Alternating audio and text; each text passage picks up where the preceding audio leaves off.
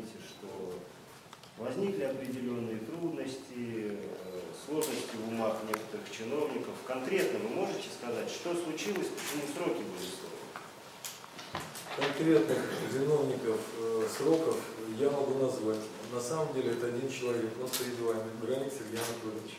Далее, те э, товарищи, чиновники, которые участвовали в этом процессе подготовки, ввиду каких-то определенных причин, ввиду боязни потерять свое кресло, служебное положение, может быть, не так быстро действовали, как мы рассчитывали. Перечислять на данном э, форуме я их не буду, ввиду того, что есть некая корпоративная политика, она касается и военной, и гражданской авиации. То, что творится внутри экипажа, пассажиры, обслуживающий персонал, он как бы не должен видеть. Поэтому извините, если не полностью ответил на ваш вопрос. Можно Нет, ваше? а что конкретно-то вам запретили? Ну, какая, я так понимаю, Нам Минобороны, никто не что запретил, э, ввиду того, что мы базируемся на аэродроме Пушкина, я понял, сейчас более широко расскажу. Э, Мы базируемся на аэродроме Пушкина на основании постановления правительства Российской Федерации и ниже следующих э, нормативных актов.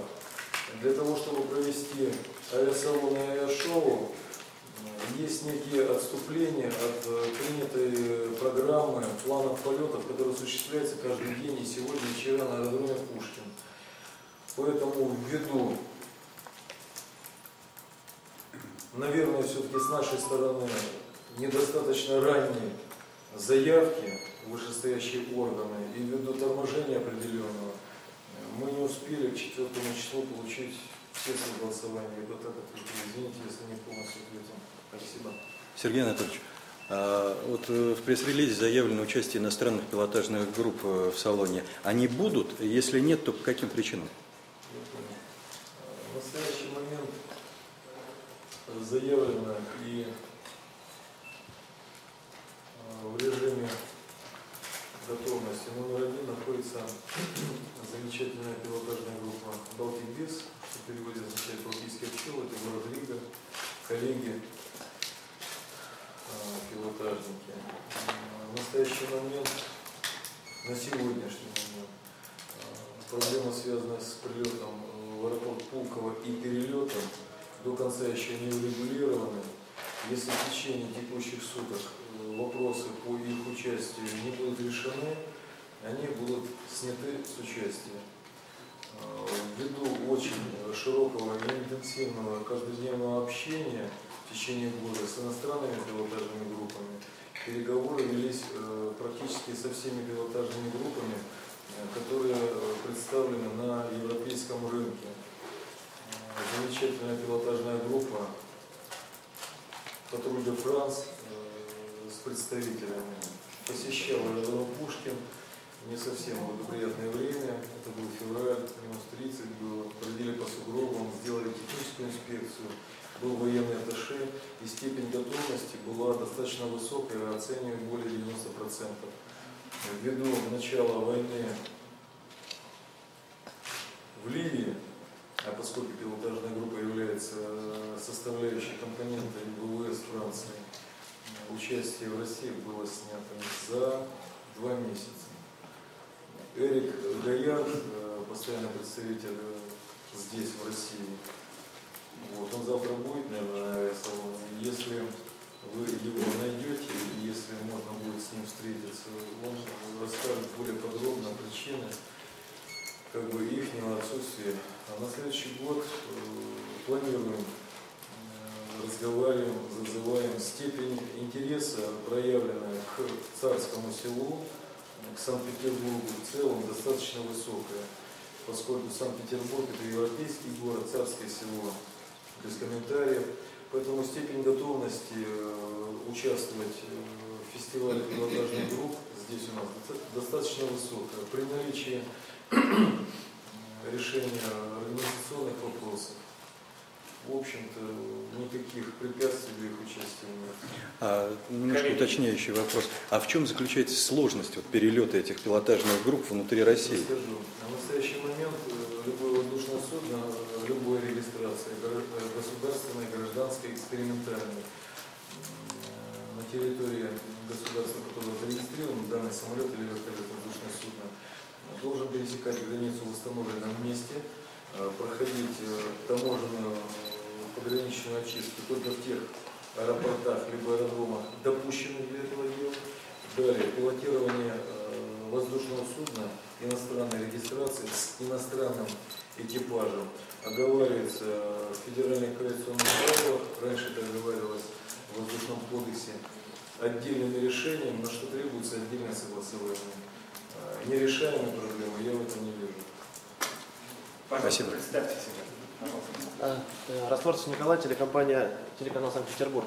Сергей Анатольевич, скажите, пожалуйста, была информация, что есть какие-то технические проблемы, помимо организационных, в частности, не хватает топлива, так ли это или нет? Нет, абсолютно. В настоящий момент мы с резервом двоекратным закрыты по топливу. А, Состояние аэродрома Пушкина, его полоса длиной 2,5 километра, выдерживать посадку самолета Ан-22, либо самолета Ил-76. А, Далее, вся прилегающая территория летного поля выстрижена, выпрошена силами многих десятков людей, которые готовили к данному авиасалону. Технических препятствий для проведения авиасалона аэродром Пушкин не имеет.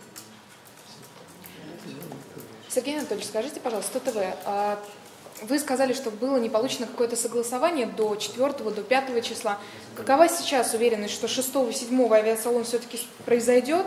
Получили вы эти документы, если у вас есть нет проблем, точнее, по топливу, по всем остальным параметрам? Какова уверенность, что 6 числа мы увидим наконец-то полет пилотажной группы? В настоящий момент э, вечером 5 вчера, нет, 4, да, вчера, 4 числа, в 23 часа, чуть раньше, получили согласование от э, командующего Западным военным округом э, по проведению данного мероприятия. Сложность состояла в следующем. Э, Аэродром совместного базирования, как и аэродром Пулково и все остальные и ниже рангом, он не предназначен для посещения публики в открытом режиме. Есть понятие режимной территории аэродрома, аэропорта, есть открытая территория. В связи с тем, что выставка э, проводится на режимной территории аэродрома, были приняты беспрецедентные меры безопасности по обеспечению правопорядка и выполнению антитеррористических мер. Далее, вот эти все согласования происходили, проходили очень сложную инстанцию. Вчера вечером мы получили документ за подписью командующего Западного военного округа. Вчерашнего вечера чисто техническая процедура ушла э, в командование ВВС, первое командование. И сегодня отрабатываются чисто технические вопросы выдачи телеграмм, заявлений, устное распоряжение и прочее. Печати, фамилии, подписи поставлены. Сомневаться в истинности документа не имею оснований. Пожалуйста. Белоусский Фонтан.ру. Э, То есть э, на данный момент вот вы говорите, что пилотные группы, э, пилотные группы, они уже готовы.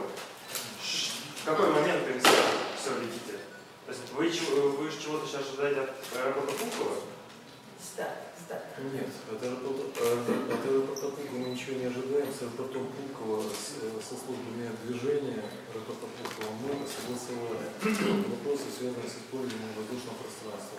Сегодня вечером у нас будет брифинг с пилотажной группой «Русь» и их коллегами.